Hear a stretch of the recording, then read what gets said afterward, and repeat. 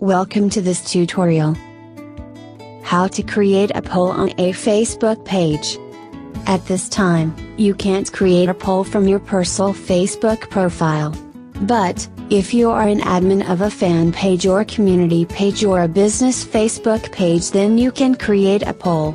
In this video, we are going to show you how we can create and post poll on a business Facebook page. Follow these easy steps. After log in to your Facebook account, type https colon slash slash business.facebook.com slash creator studio and press enter. On the left sidebar click on create post button, and then from the drop down list click again on create post. On the right side, you will see a blank post text box with some post options. Click on poll. In Ask Something text field, type your question.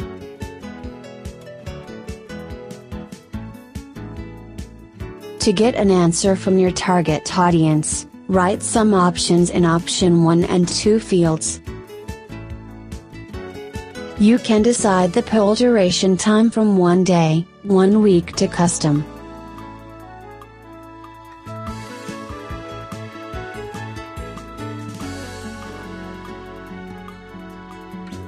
Once it has done, click on the Publish button at the bottom right.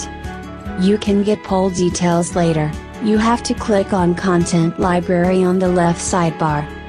Under the Post section, click on your created poll name post. Here, you will find all the post details of your poll.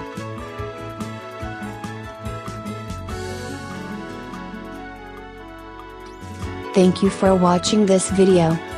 Subscribe to us.